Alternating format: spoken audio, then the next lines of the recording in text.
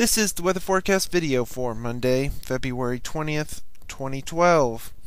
Let's take a look at the satellite image from last evening. You can see a storm system leaving the east coast that brought snow to the mid-Atlantic and southern New England.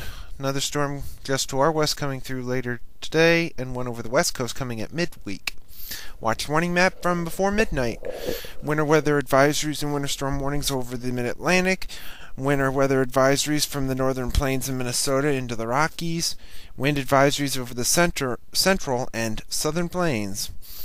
QPF chart precipitation over the next five days through Friday evening at 6 o'clock shows some decent amounts of precip around here with the system today and a system Wednesday into Thursday with the heaviest over the northwest.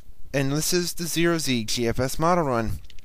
At 6 p.m. this evening, see the first storm going through the central and southern plains with the piece energy there, and we'll see some rain mainly with temperatures in the 40s. Bit of a wintry mix over the northwestern counties where a winter weather advisory is in effect and some switch over to a little bit of light snow then. By Tuesday, that'll be lifting out. There could still be a few rain showers or a few wintry mix of flurries and sleet in the morning, but by evening it'll be gone. Wednesday's just going to be a miserable day, mostly cloudy, some drizzle, maybe a few flurries, and in the upper 30s to mid 40s. Thursday looks to be about the same. Some rain, maybe a bit of wintry mix, and temperatures will begin to cool off as the storm system begins to push off. Friday could still see even some lingering flurries or maybe a bit of drizzle across the eastern counties, but most of the precipitation will be well off to our east over the Great Lakes and the east coast. As our attention on Saturday moves to our infamous storm with the low developing over eastern Colorado and some snow breaking out over the plains and into the Rockies. Now we move ahead to Sunday. This is Sunday morning at 6 o'clock. You can see a piece of energy coming into the northern parts of Nebraska and South Dakota, and another piece hanging back over the Intermountain West. And we have a low near Kansas City, but as you see, the Gulf is not open. So there's a lot less moisture to work with, so a lot of the snow may end up missing quite a bit of the state on Sunday. As we head to Sunday evening, now the Gulf opens up, but the storm is mainly to the east, and that infamous ugly high pressure is taking the moisture away, as the low has now moved into Michigan with another piece over Colorado.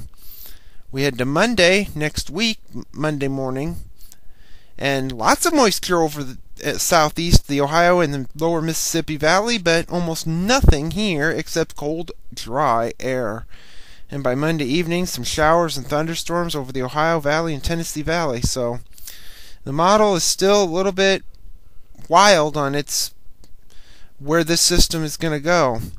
So let's take a look at this. This is Canadian Gem model. This is at 6 a.m. Sunday morning. You can see we have a low pressure over Colorado and we have a band of moisture coming into the western counties. And by Sunday evening, it's blossomed into quite a bit of precipitation, mainly over the southern about third of Iowa into Missouri and Illinois. Whether it's rain or snow, not sure. But by Monday morning, it's gone off to the east, quickly moving. But there's another little piece over to our west as that infamous high pressure tries to nose in, but looks like there could be a little bit of more precip, and this possibly could be in the form of snow. So the models are a little hesitant on this storm system. We move back to the GFS and we move ahead to March 1st. Of course, this is in voodoo and some energy moving through the middle part of the country with a trough Surface a low pressure over Wisconsin, and yet again, Gulf is not opened up, and all the moisture is to our north, so we might end up dry from that system if that's right. The end of the forecast? Oh, not at the end of the forecast. We're over to March 4th. So excited about the end of the forecast.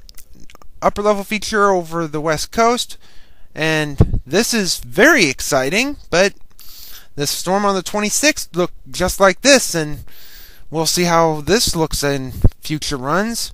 This could be quite rainy. And now at the end of the forecast on the 6th, that upper level feature moves onshore, now over Utah. We still have a ridge over the southeast and the Gulf Coast, so no intrusions of pretty of really cold air. Most of that will be in eastern Canada as another storm begins to develop again, but we've seen this before. We'll see how this is in future runs. Thank you for tuning in to the weather forecast video. We'll have another one tomorrow.